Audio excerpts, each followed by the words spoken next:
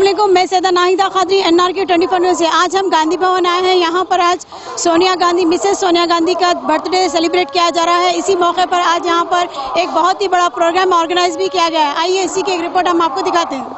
और प्रदेश कांग्रेस कमेटी की जानिब से ये प्रोग्राम पेश करते हैं।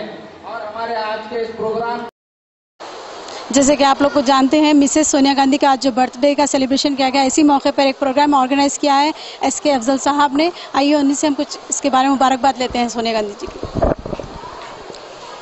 आज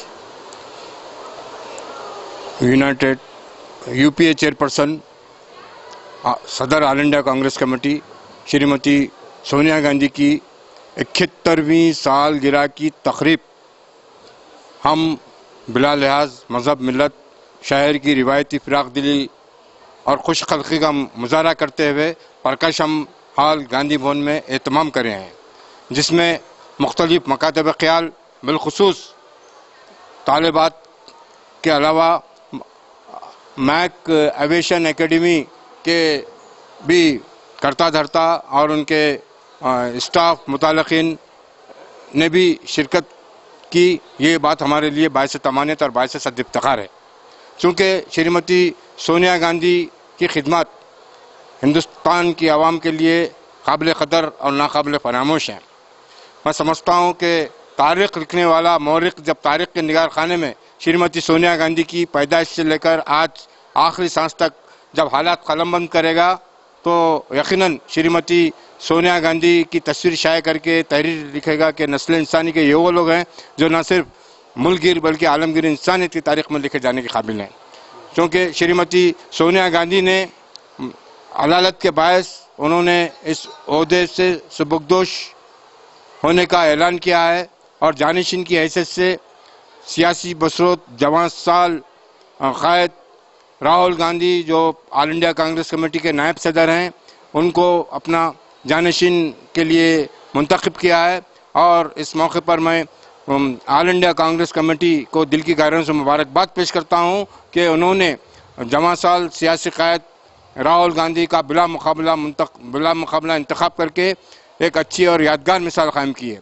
और साथ ही साथ आज प्रकाशम हाल में अभी हमारे वी हनुमंतराव साहब जो सबक सदर कांग्रेस हैं और विनोद कुमार जी जो चार ममालिक के उन्होंने सफ़ीर के ऐसे से भी अपने फ़रज़ अंजाम दिए हैं। वो हमारे आज मेहमान खसूसी थे और साथ ही साथ जो, पाँच सात और आठ तारीख को इसी प्रकाश हमाल में तालीमी मुकाबले जात का अहतमाम किया गया जिसमें दोनों शहरों के मुख्तलिफ़ मदारस और कॉलेज के तलबा के अलावा तालिबात की अक्सरियत ने इसमें शिरकत करके श्रीमती सोनिया गांधी के को और भी जो है तमानियत पेश की है।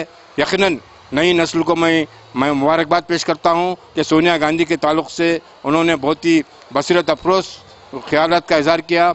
उनमें महसूस हुआ, जजेस साहिबान ने भी महसूस किया है कि एक तहरीरी सलाहियत और तकरीरी क़वत को उजागर करना हमारा नजबुलन है।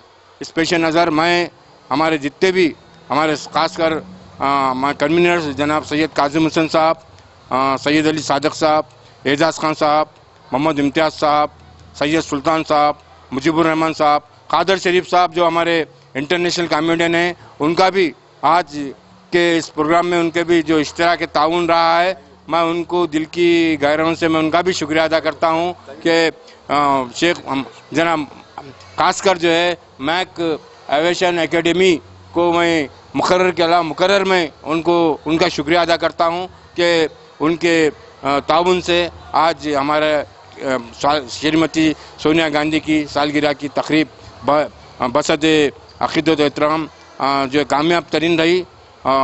और हमारे जितने भी हमारे ऑडियंस हैं, माशाल्लाह हर एक के चेहरों पे चमकती मुस्कुराहट है कि वो सोनिया गांधी के जलसे में सालगिरह की इस पुरमसरत तकरीब में शिरकत करके वो भी जो है खराज तहसीन पेश कर रहे हैं। इकहत्तरवीं सालगिरह के मौके पर हम तमाम हिंदुस्तान के भाइयों से, बहनों से गुजारिश करते हैं कि वो खुशी का इजहार करें। और दूसरी बात यह है कि मैडम सोनिया गांधी इटली में पैदा हुई, लेकिन हिंदुस्तान को उन्होंने अपना मुल्क बनाया।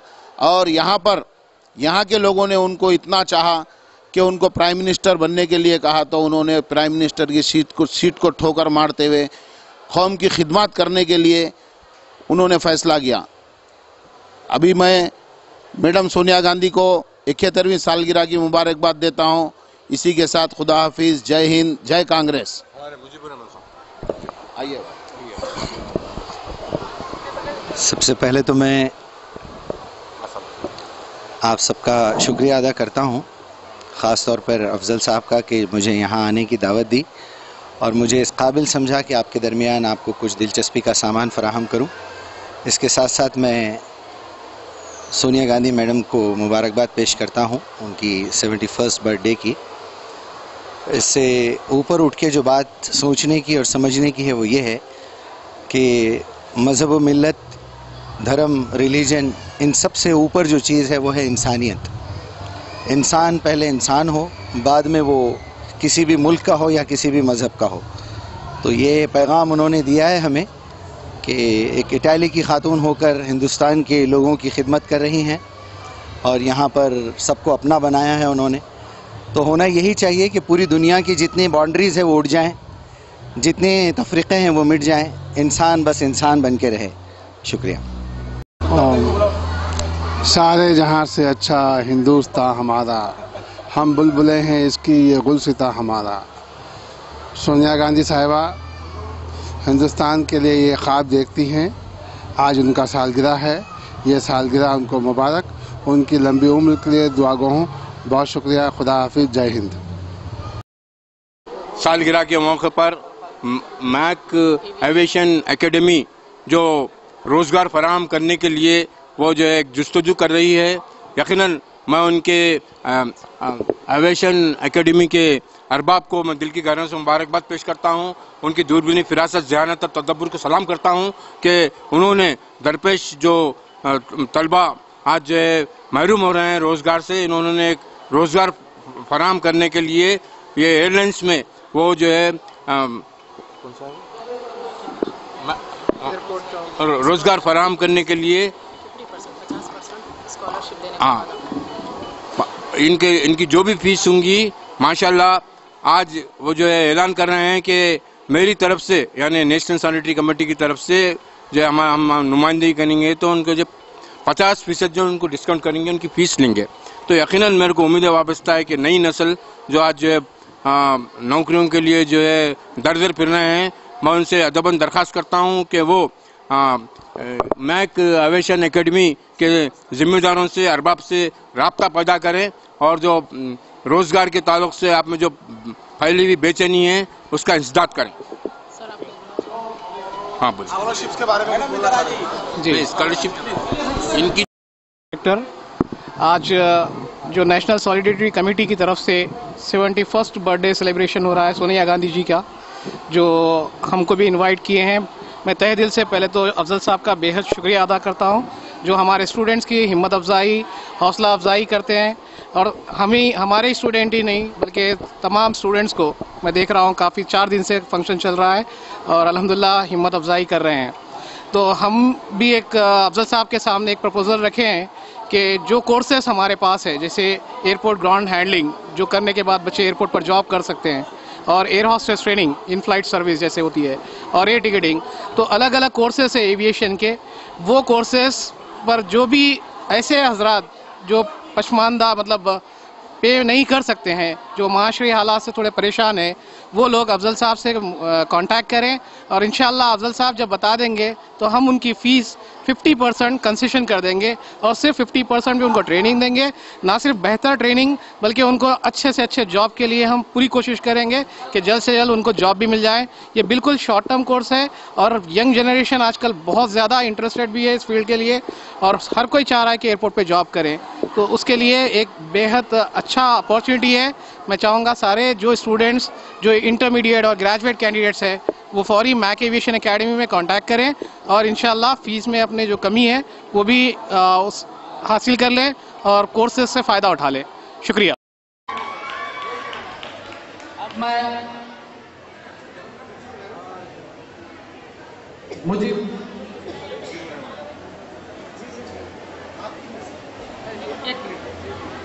मैं सुल्तान साहब और अस्मा मैम से अस्मा जो एविशन के उधर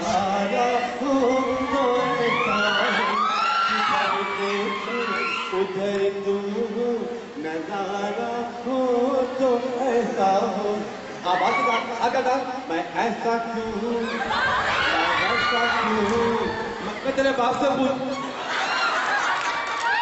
ताल में साहब ताल में साहब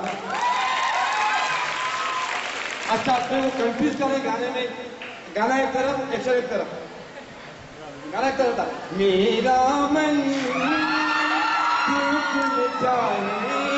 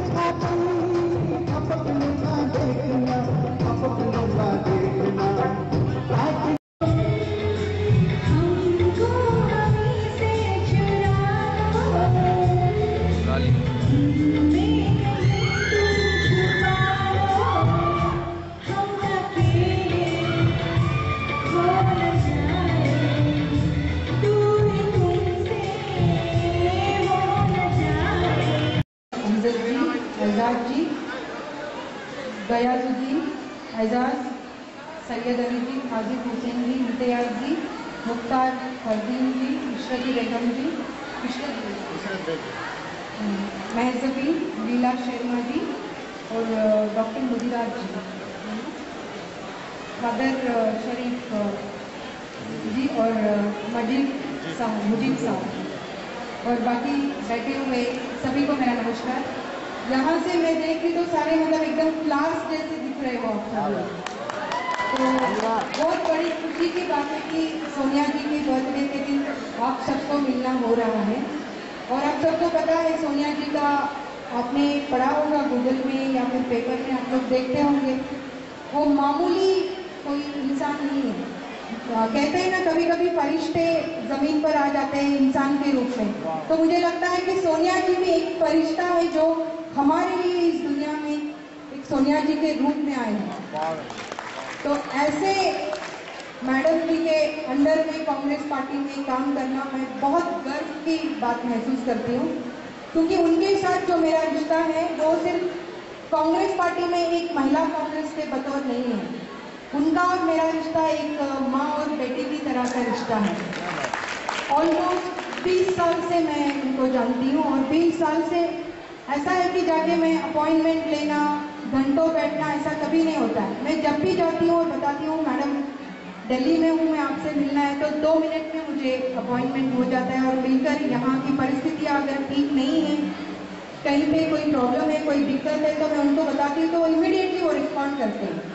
तो मैं आप सबको यही बोलना चाहूँगी कि आप सब लोग एक इंदिरा जी और एक सोनिया जी बनने की कोशिश ज़रूर करें। क्योंकि सब में काबिलियत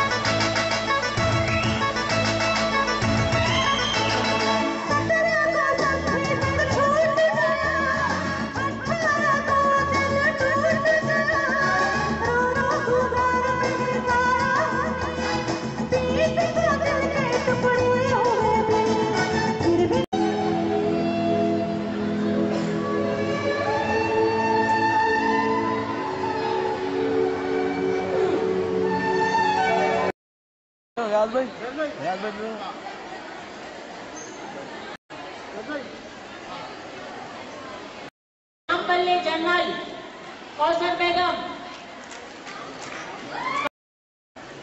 सालिहा इन हिंदी सालिहा।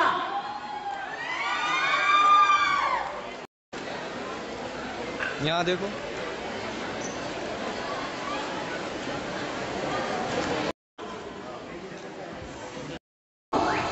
इसी के साथ मैं Saida Nahida Khadri N R Q twenty news से। इसी तरह मैं आपके सामने सच्चाई दिखाते रहूँगी। इंतज़ार करिए मेरे अगले न्यूज़ का।